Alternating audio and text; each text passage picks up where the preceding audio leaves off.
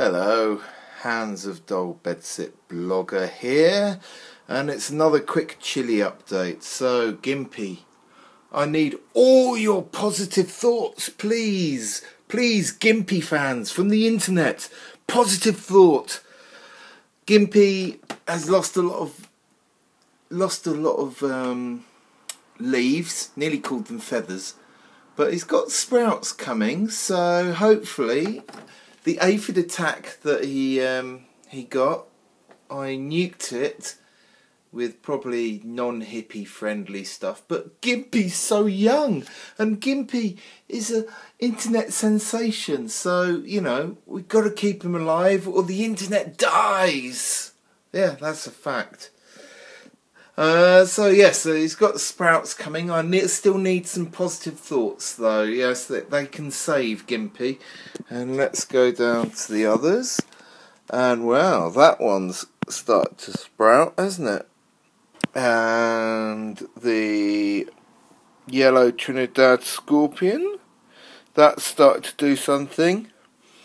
And oh, the hot lemon, that's doing very well. Look at that, lovely healthy plant. Um, red seven pot bubble gum, starting to get some sprouts there. I'm really not sure what this one's doing. I think it's basically staying alive, and that's about it. So that's uh, a possible Thai chili, which is looking quite nice. Oh, hello. What are these three here? Oh, they.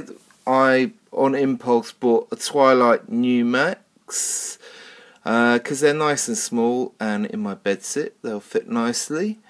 And that's a Habalokia seedling which has moved from the nursery to the uh, growing area which is my bed sit.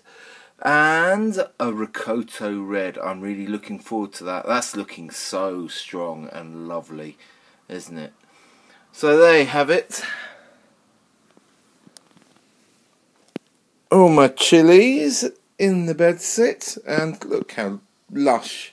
I think my money plant really likes having the other plants around because uh, it didn't have that much leaves on it last year. If um, you go back to some of the old videos, you'll see it was pretty manky and old. But no, it's it's loving having some planty mates to talk to.